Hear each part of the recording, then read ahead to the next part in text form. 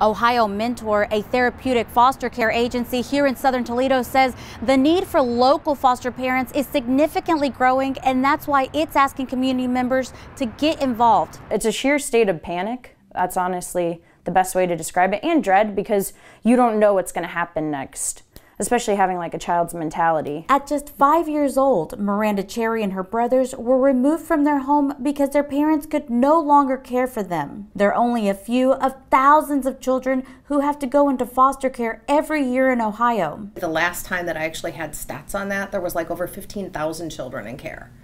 Um, I know in Lucas County, the last time I talked with uh, the Lucas County Children's Services officials, they had almost a thousand children in care. Lucas County Children's Services says it has 260 foster homes right now, but because of the opioid epidemic and other issues, the agency could use almost twice those homes. It's also why Ohio Mentor, located on Airport Highway in Toledo, has decided to offer some weekend classes. There is no charge at this agency to become a foster parent. What so. we found is by doing it in an intensive weekend where we start on a Friday night night and we end on a Sunday evening. Um, they get to go home and have breaks in between. They can actually get half of their training. So half of 36 hours, 18 hours is done in one weekend. We pretty much are open to anything and we go to 21. A lot of agencies only go to 18. So by having these homes licensed and ready to go, having these beds available for these children um, kind of keeps them out of that residential environment or living in more like a group home settings. It's crucial for those like Miranda Cherry who believes the worst would have happened if she didn't get help. If we wouldn't have got out of the home, I mean, I don't think that we would even be alive today. Um, it was a really bad situation. So like my bio dad actually tried to like burn down the house.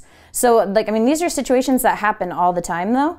Um, so I can't even imagine, or I could see myself even being on the streets or involved with drugs. I mean, that's the thing. If you don't get the proper coping skills, you turn to things to try to heal yourself. Which Ohio Mentor also aims to help with by offering a therapeutic approach. Every child who gets placed in foster care um, would qualify for, you know, a traumatic experience.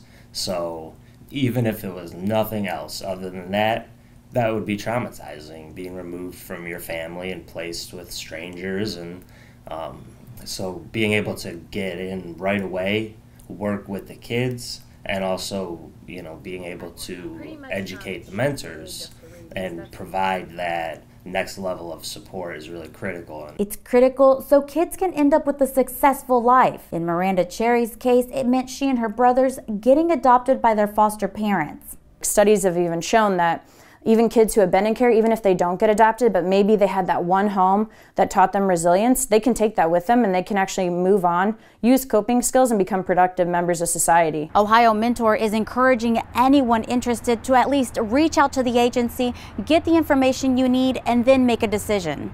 In Toledo, Roxanne Elias, The Blade.